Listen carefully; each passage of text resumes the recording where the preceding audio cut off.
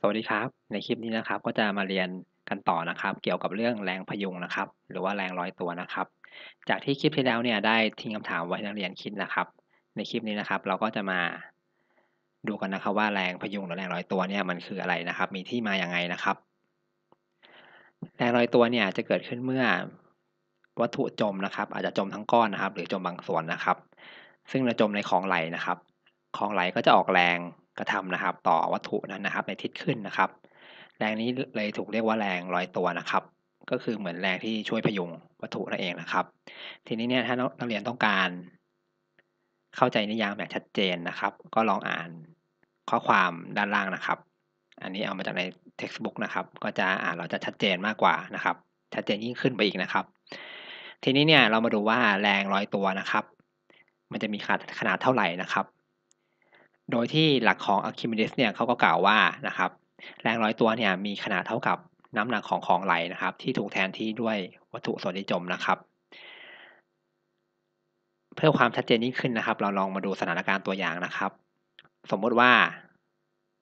วัตถุดำก้อนนี้นะครับ ถ้าเราชั่งน้ำหนักในอากาศนะครับ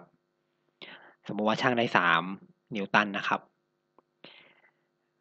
จากนั้นเนี่ย ถ้าเกิดว่าเราลองเอาไปจุ่มนะครับ ลงในน้ำนะครับ โดยในถังน้ำเนี่ยบรรจุน้ำเต็มเปี่ยมนะครับ พอเราจุ่มวัตถุลงไปปุ๊บเนี่ย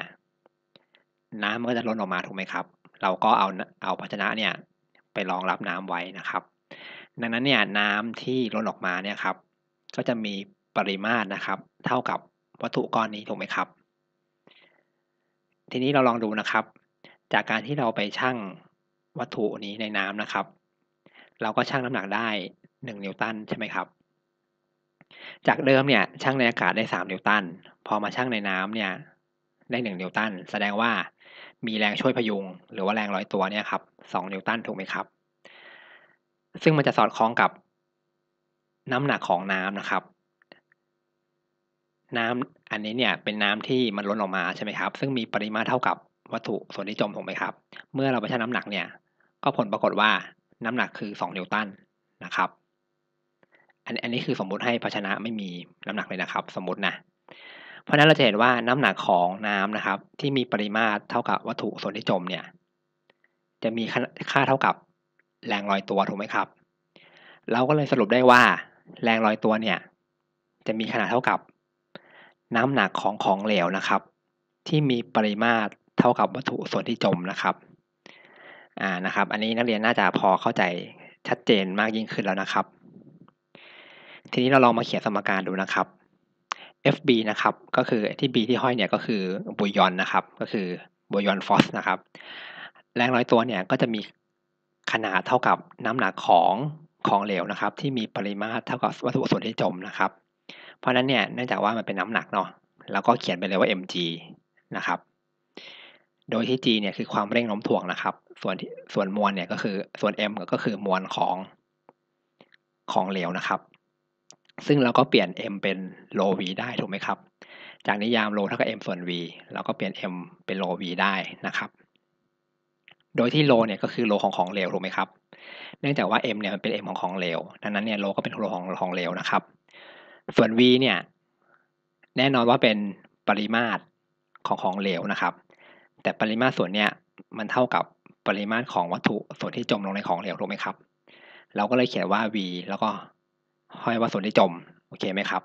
เพราะนั้นสรุปว่าแรงลอยตัวเนี่ย ก็มีขนาเท่ากับโลของเหลว v จมแล้วก็ g นะครับโอเคไหมครับหรือนักเรียนจะจำว่าโล g v จมก็ได้นะครับ แต่อันนี้ต้องระลึกเสมอนะครับว่า โลเนี่ยก็คือโลของของเหลว v ก็คือปริมาตรของของเหลวนั่นแหละ แต่มันเท่ากับปริมาตรของวัตถุส่วนที่จมนะครับ เพราะว่าเห็นบางครั้งเนี่ยนักเรียนเนี่ยส่วนใหญ่บางทีใช้ผิด บางทีก็ไปใช้โลวัตถุบ้างละ v ทั้งก้อนบ้างละ v ส่วนที่ร้อยบ้างละ อะไรอย่างนี้นะครับ เพราะนั้นก็ถ้าเราเข้าใจคอนเซปต์ของแรงพยุงแล้วนะครับ เวลาเขียนสมการเราก็จะไม่ผิดพลาดนะครับ แล้วเจอกันใหม่คลิปหน้านะครับ สวัสดีครับ